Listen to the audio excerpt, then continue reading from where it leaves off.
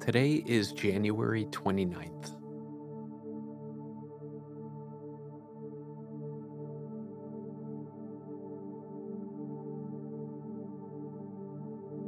The grace of our Lord Jesus Christ be with your spirit.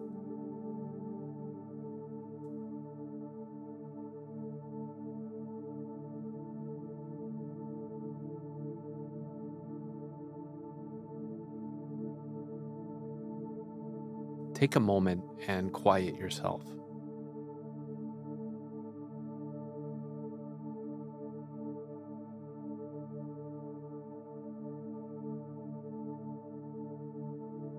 Take a deep breath.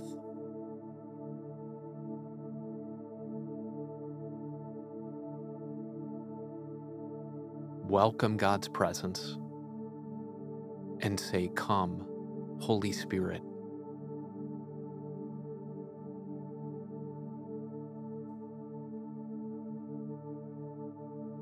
Today's reading is from the book of Acts, chapter 21.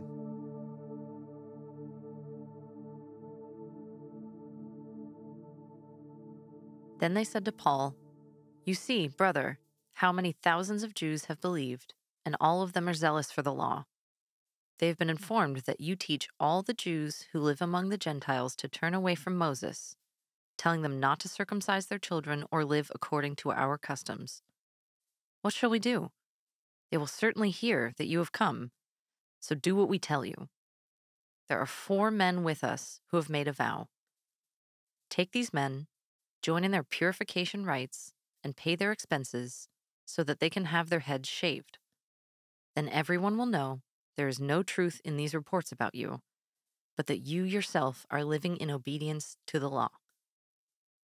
As for the Gentile believers, we have written to them our decision that they should abstain from food sacrificed to idols, from blood, from the meat of strangled animals, and from sexual immorality.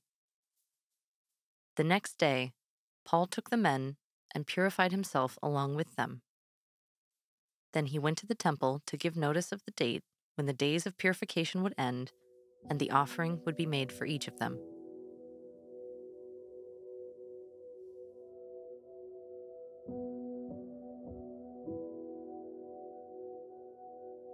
This passage reminds me of the demands that are placed on us by other people People are coming to the Apostle Paul and placing extraordinary demands on him, saying, If you want to prove yourself faithful to God, then you need to do this. You need to do that.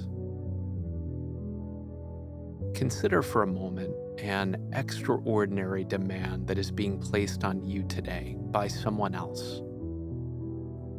From a family member, maybe a parent, sibling, or just the demands of parenting a child. Or maybe the demands from your job, from a boss or coworker. Can you allow yourself to feel the pressure of those demands for a moment? Bring all of that to the Lord today and express to Him how you feel.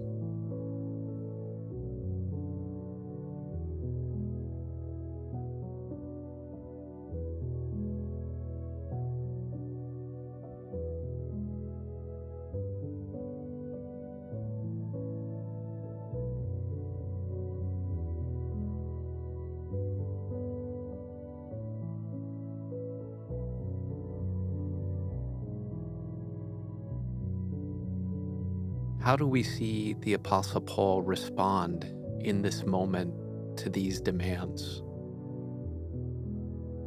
Well, we know from Paul's writings that he was always motivated by Christ's love, not by pleasing people, not by building up his own reputation. In other words, if he ever goes above and beyond it's because of Christ, not because of some external demand. Listen to the passage again and ask yourself where Christ is in the midst of the demands that you're facing.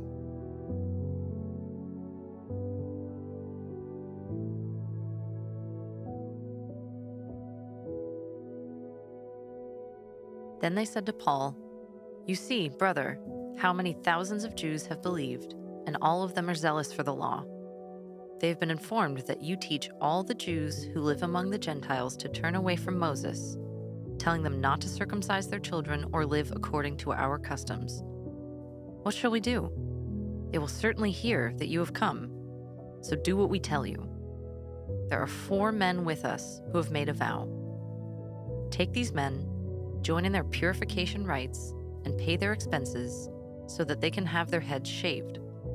Then everyone will know there is no truth in these reports about you, but that you yourself are living in obedience to the law.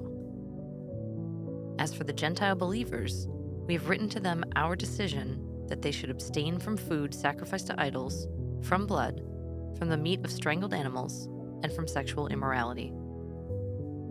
The next day, Paul took the men and purified himself along with them. Then he went to the temple to give notice of the date when the days of purification would end and the offering would be made for each of them.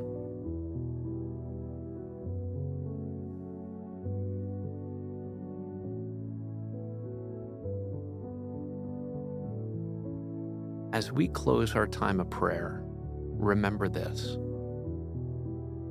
you have the same Holy Spirit living in you as the Apostle Paul.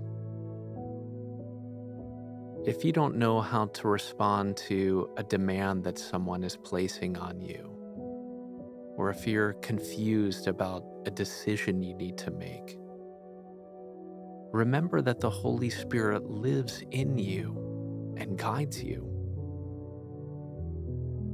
Ask God to guide you by His Spirit and through His Word. And trust Him today that He will show you what to do.